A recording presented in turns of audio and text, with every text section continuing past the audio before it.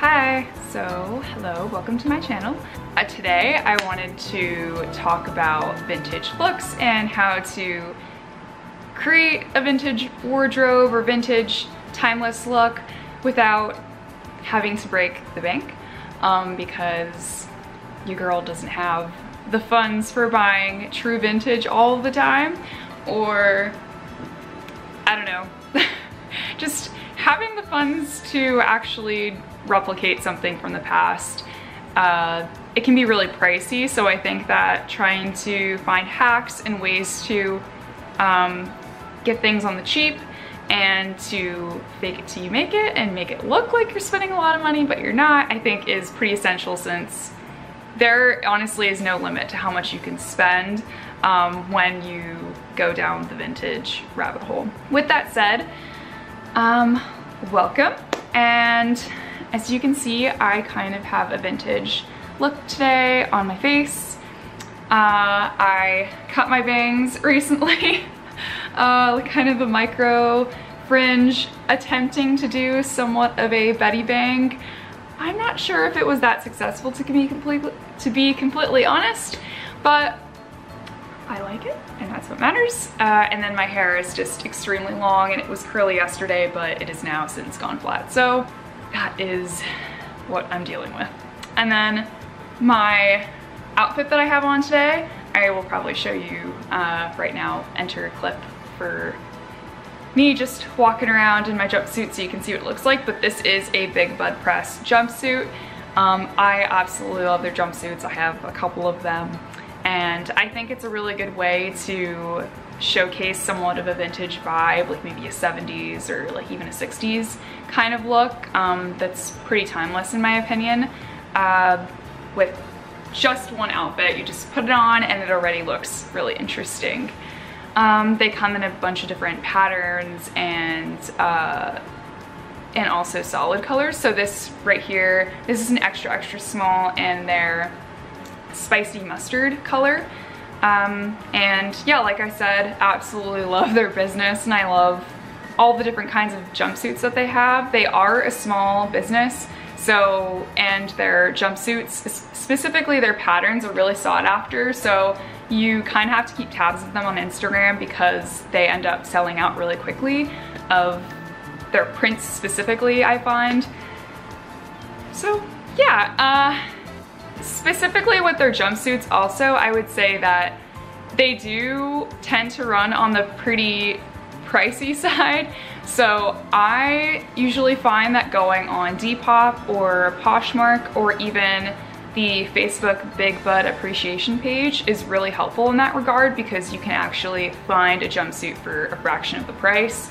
Um, but you are paying for quality. So I think it's an investment and um, they usually like occasionally will have sales and things like that. Uh, let me know if you'd like a video um, specifically about my Big Bud Press clothing because I have quite a lot. Um, and I just, like I said, I really love the jumpsuits. Um, it kind of teeters on that line of like girly with like, I don't know, badass sort of combo. Love it. Um, okay, so,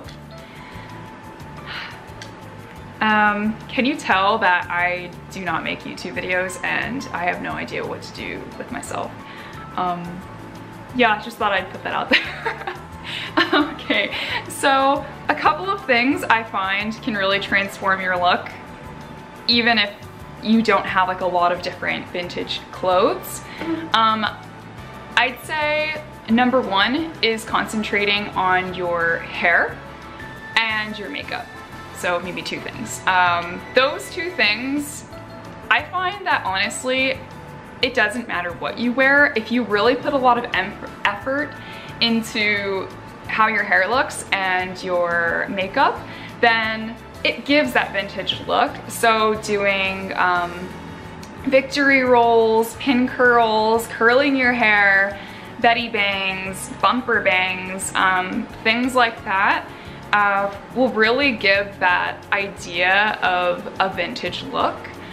And just with a couple of staples, clothing wise, it can look like vintage. Also vintage, I wanna like point out is a very, very broad term. So it can really mean a lot of different things. It depends on what era you're going for, I suppose, but I'd say like, I guess what I'm talking about is maybe like 50s to like the 70s. Um, yeah, potentially 40s, yeah. then the next thing I would say are accessories. Those are the cheapest kind of point of entry um, with what you probably already have. So Amazon is actually a really good place to find some accessories for really cheap, just reproduction type stuff, and also things that are currently trendy that are being sold. For example, these. So I found these on Amazon and um, they were probably, I'd say like 10 bucks.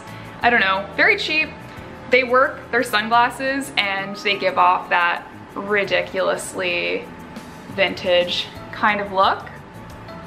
Um, I think they're outrageous and I love them. So they have lots of different colors. This is their pink.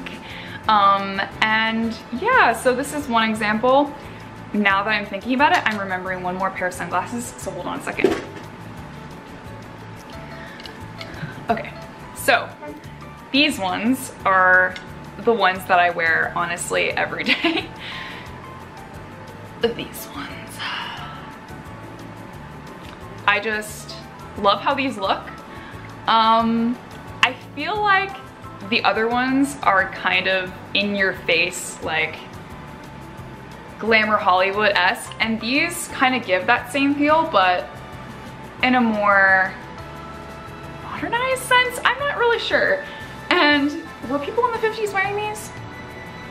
I don't really know, but there's one thing that I think really works. Some kind of glasses, sunglasses, um, on an outing really gives that effect.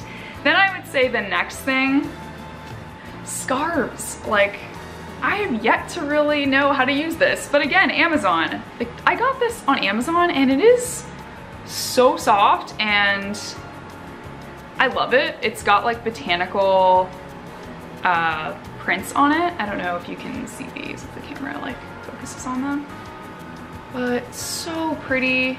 I absolutely love this. So yeah, I don't know if you want to put it like underneath your hair. I'm gonna attempt to do this and it's gonna be a huge fail or it's gonna be incredible, one of the two. So yeah, just put your hair up, see if this works for me. It doesn't work for me when I'm attempting to make this like the thing I do. I, okay. Should I be attempting to do this for the first time on camera? Probably not. This is already failing, I think. Maybe not. Okay, so tuck that in, whatever the heck that is.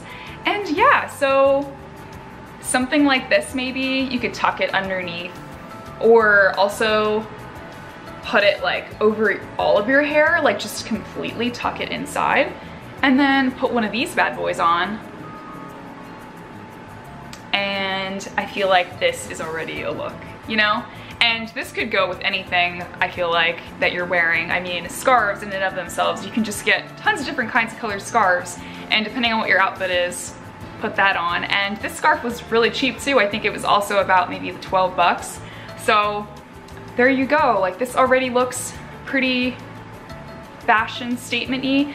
I think another thing is I'm wearing red lipstick and it is really contrasted. It has that pop of a color and I think that that helps. Um, I feel like, I think back in the day, red was by no means the only color that was used as a lipstick by a lot of women, but I think in a lot of posters and advertisements, it was sort of a pin-up look, and I think you can achieve that with red or maybe like a muted color too, uh, like maybe a nude type color, but I don't know, I just think this looks really cute. So that's one thing. I'm gonna leave this up because honestly, it's kind of, it's kind of working. Also, I, my head, like this I don't know if this happens to anyone else, so please leave a comment below if this happens to you, but I need to pin this onto my hair. Like there's no way this will stay. Like if I am walking around or doing something, it just slips right off because it's kind of a silky type material. So just use uh, two bobbing pins like next to your ears and then just honestly probably like cover it up. I've watched this from another YouTuber and she said this and I think it's pretty true. A lot of what's so appealing um, about the vintage look is it looks effortless, but it actually has a lot of thought into it and it's supposed to look like you're naturally like that, which no one is, but it kind of gives that effect, I think, similar to a great artist. Um, it looks like there aren't, you don't really see behind the curtain like all the tricks that they're using to get that final product. So I think that just look at yourself like that. You are a canvas and you are an artist and trying to almost trick someone into thinking um, that you naturally look like this. And I think it's a lot of fun. At the end of the day, just have fun with it. Um, that's, that's what I say. If it's not fun, then don't do it. So next thing, curls. My hair is not really curly right now. It's wavy just because yesterday I slept with heatless curls, or what are they called? Just curlers, I guess. Um, and I have a couple of things I wanted to show you about in regards to that. So my hair is very long. It does not hold a heated curl, I guess is what you'd say. Just it, like using like a heating wand, it does not work on my hair. I feel like one, I have no patience for standing there. I have really long hair. I don't have a lot of it, but it's really long and it takes a really long time. I don't like the idea of using heat on my hair in general. And then it takes long and I feel like I have to use a lot of product and then it gets very crunchy and because there's just so much weight, it just falls out. That happens regardless. If you have really long hair like me, hair is very long, then that's probably going to be an issue you're going to run into. So just a heads up. But I saw this from Rachel Maksy. um, so she uses these. She uses a lot of different ones. I think she uses the standard kind of like grandma-esque curler and I'll show you that in a moment too. But these are called cozy curlers and you pretty much wrap them in your hair. Like I go like this and just wrap them then you twist and there's this netting material here that I can never get to work. And you just wrap it over your whole hair, twist it to make it tighter if you'd like. And they're made of this foam. So it's super duper soft. And I find that of all the different curlers there are, this is the easiest to sleep on. And it comes with eight. I think you might be able to get them either with more or less, but I think this might be the standard. Um, so it comes with eight of these big curlers. It's really fast. Like this is what I do at night. I use like a little bit of foam wrapping lotion on my hair to give it more hold after I take them out in the morning. And this works like a charm. It was the first thing I tried to get curly hair. It's the thing that I go to. Then the next thing I tried to do, because I was like, maybe I want tighter curls. Maybe that will make my hair stay in longer, which it did not, and also whoever sleeps in these, including Rachel Maksy and other people, I have to hand it to you. You either have like just the hardest, not hardest heads, but you're just able to stand a lot of pain because these puppies are so hard to sleep in. I do not know how anyone does it. Let me take one out. It's this little guy. I don't know if you can see it. Yeah.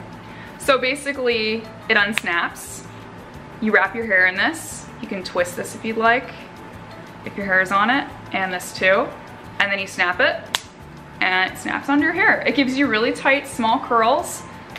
Really incredible, like once you brush them out. Um, obviously like it's a lot. The tighter that you wrap your hair around foam the tighter the curl is going to be.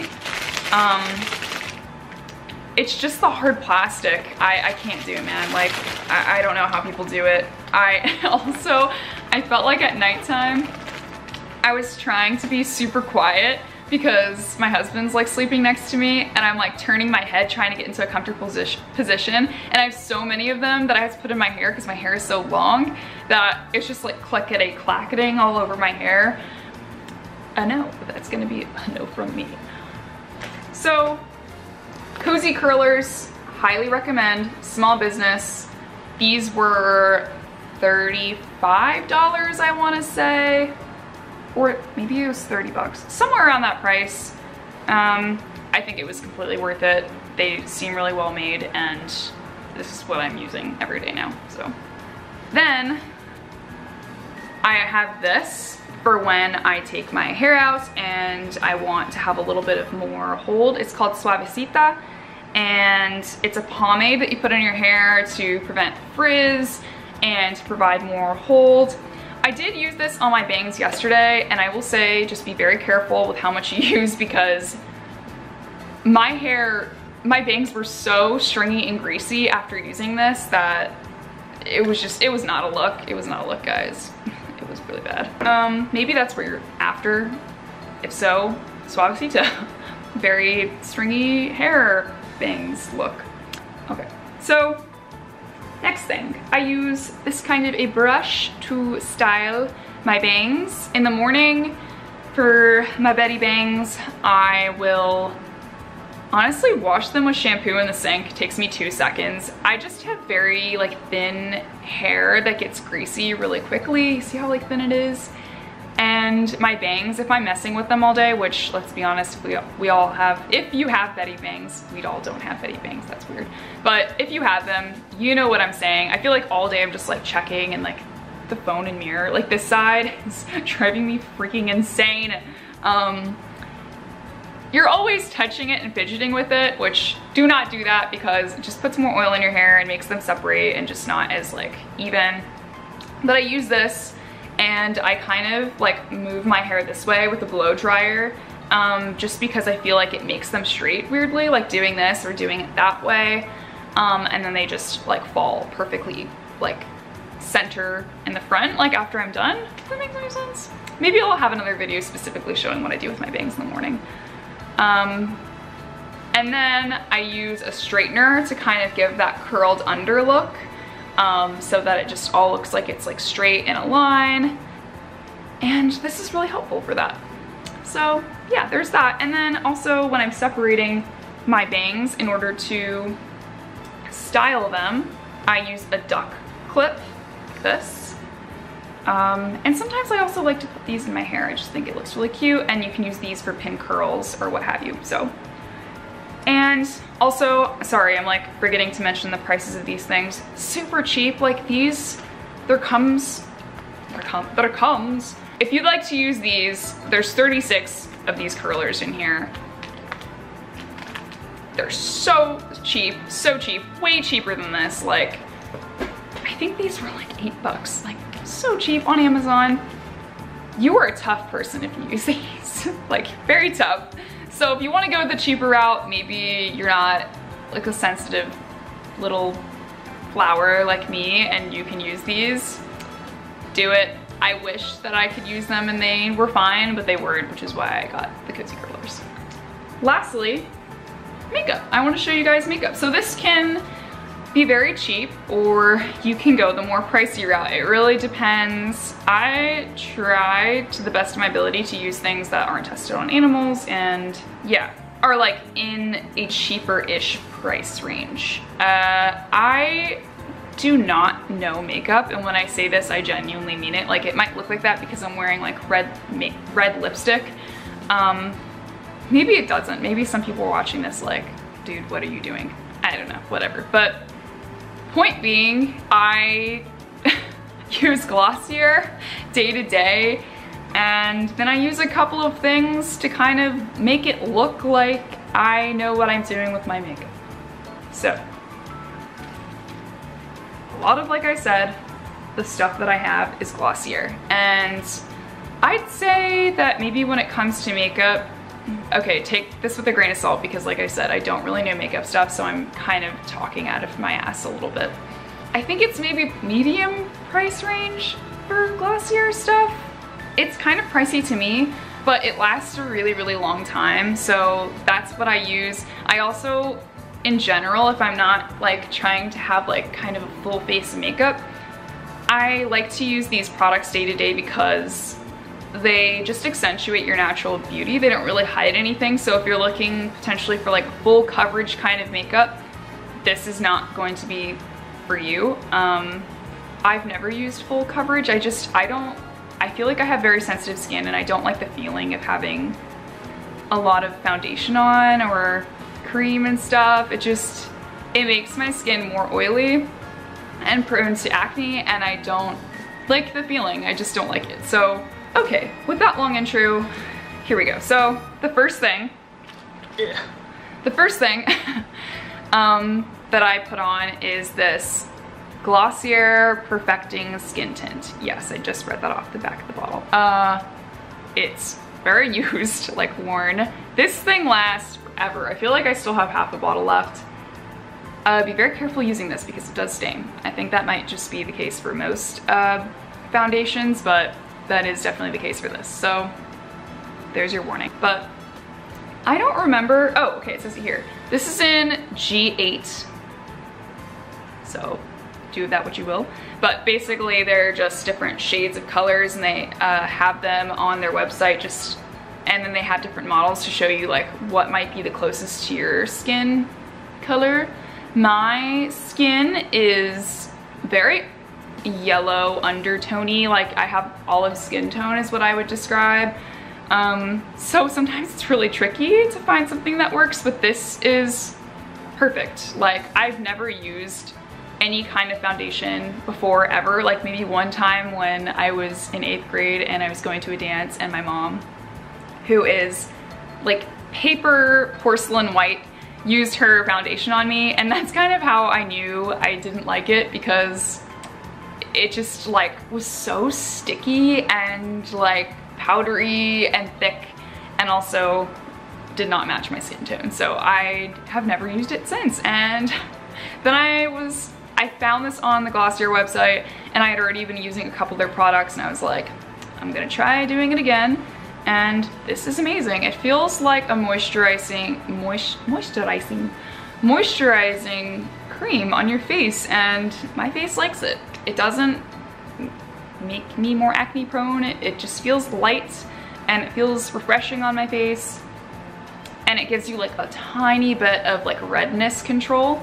So love that for me. The next thing I'll use on my face is this. So this is their cloud paint.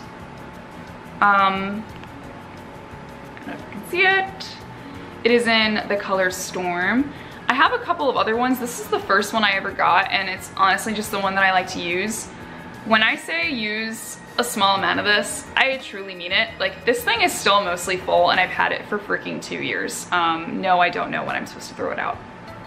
But it's so these things, like they come pretty expensive or when you're looking on the website and you look at the price like at face value, you're like, shit, this is kind of maybe pricey for me for, I've never like done this before, especially like I said for me, not really a makeup person. I don't remember how much this was, but it was probably like 20 to 30 bucks maybe.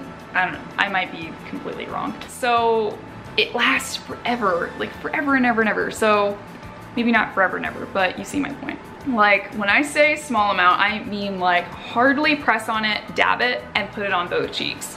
It is strong. Like it really tints your cheeks super quickly. It's really creamy and I just, I love it. So next thing, their Glossier Haloscope. It's just really glittery and I like adding that kind of extra like tint of like cute little um, glow. So like that. Don't remember what, they have different versions of this. This one just looks like that in the center. That helps you. Then I have their Boy Brow in brown. This I love.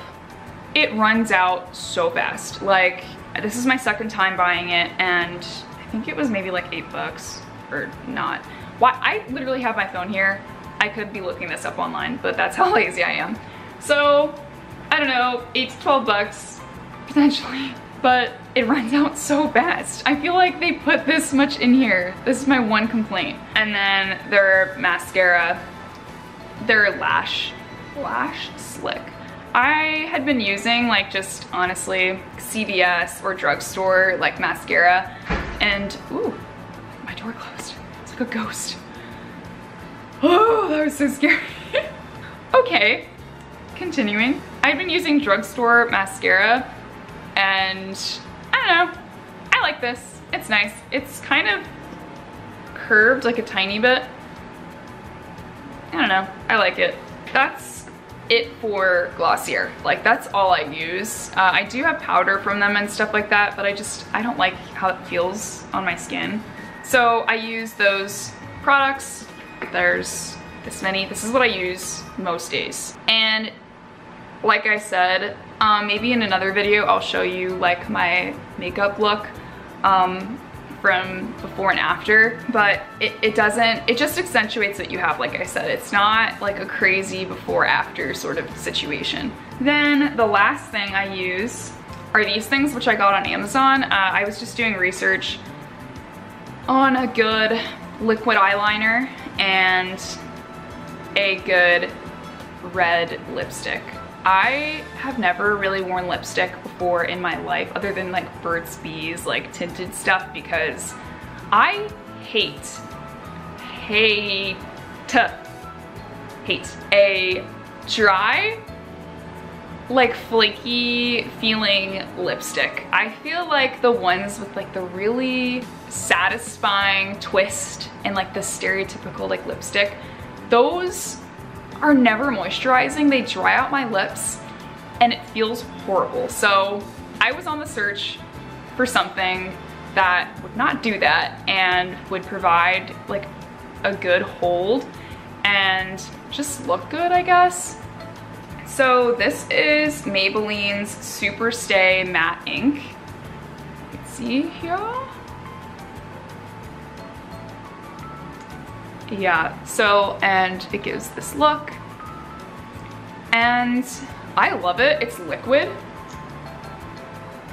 Ugh. This, got a little brush. It does stain, so you have to be pretty accurate with how you put it on, which took a little bit of trial and error on my part, but yeah, I love this. I love it.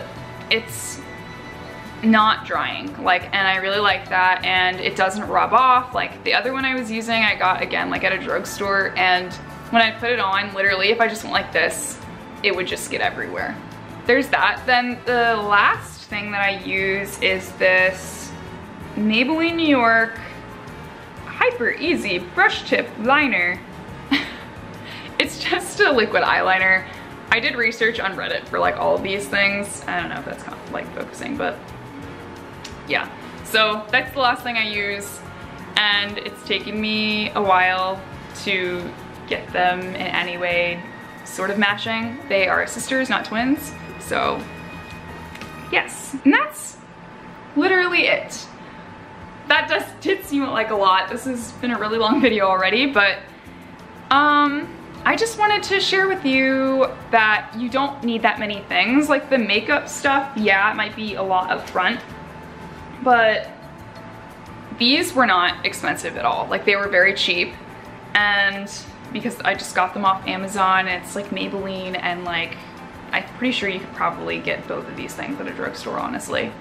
Um, and then Glossier products. So this is all I use. I don't use anything else. Probably never going to. I just, I don't like to put on a lot of makeup. I don't like the look of just being super duper transformed. I just like it to kind of have a pop of color and just with these two things alone, it makes your look uh, very accentuated, I guess. And these things just give you some form of like a tiny bit of coverage and kind of give you like a little bit of a glow. That's all. Um, let me know if you have any questions uh, or have like another video you'd like me to make like I said, I have vintage clothes um, that I've gotten over time, reproduction type stuff, big bud press, and different accessories to help form a vintage look at a cheaper price because that is what we are looking for. So yeah, thank you so much and I will see you next time. Bye guys.